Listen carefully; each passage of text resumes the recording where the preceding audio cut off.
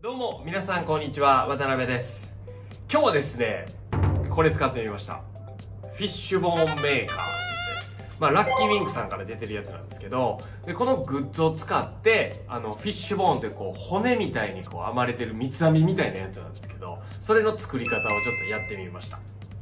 で、多分こういう商品とか使って結構その、まあヘアアレンジするっていうやつ結構出てると思うんですけど、まあそれ使ってみたときに、なんかこう、ちょっとやりづらいなっていう部分だったりとか、私はなんかこういう風になってしまうとか、多分なんかそういうことって皆さん出てくるかなと思うんですけど、それをちょっとこう僕が使ってみて、ちょっとこれ気になるなっていうところを、えっ、と、検証でやってますので、これをちょっとグッズを知ってて、使ってみたいけどどうかなっていう方だったりとか、フィッシュボーンやってみたいっていう方は、よかったらこの動画を見て参考にしてみてください。それでは動画をどうぞはじめにオイルをつけていきます。まとまり等がしっかりと出るように、中間から毛先に向かってしっかりとつけててください。次にブラシで溶かしていきますしっかりとまとまりが出るように溶かしてください。このくらいツヤだったりとかまとまりが出てれば大丈夫です。サイドで半分に分けます。穴が大きい方を頭皮の方に向けて大きい方に髪の毛を差し込んでいきます。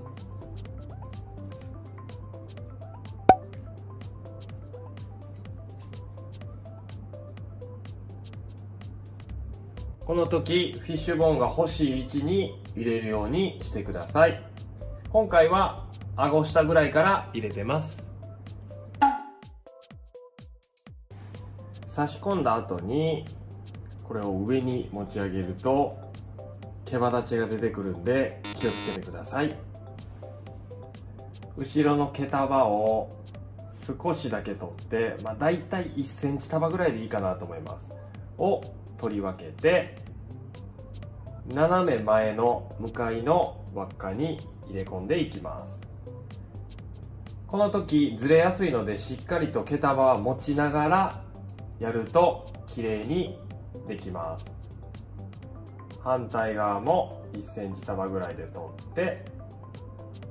向かいの輪っかに入れ込んでいきます。このままどんどん進んでいきます。また 1cm 束を取って向かいの輪っかに入れて反対側も 1cm 束で取って向かいの輪っかに入れていきます。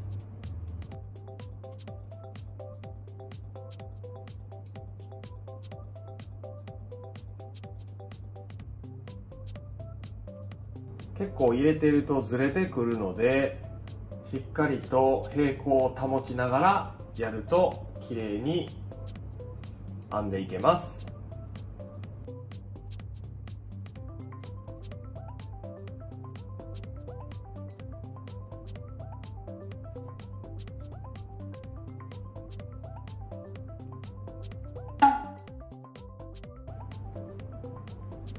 オイルをつけないでそのままやってると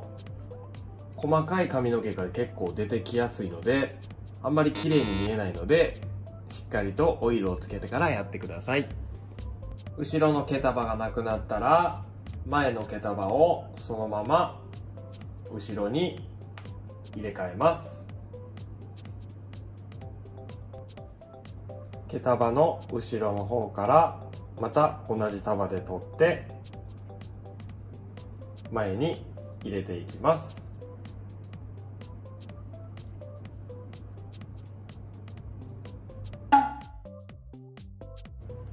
入れ替えた後に表面のこの髪の毛をまた出してしまうと結構崩れやすいのでなるべく裏の髪の毛を前に持ってきて編んでいくようにしていってください。先の方まで来たらまた後ろに持ってきて同じように編んでいくんですけどやっぱ毛先がちょっと細くなってる分こう入れるとすごい安定感が悪くなったりとかするかなと思うので外してつ編みする方が綺麗に見えるかなと思います。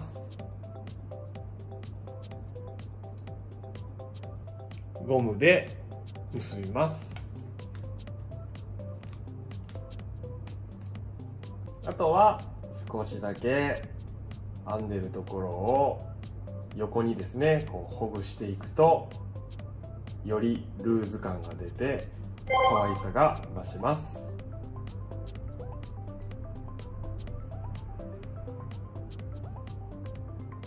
こんな感じで仕上がりました。フィッシュボーンメーカーを使ってやってみたのでよかったら参考にしてみてください。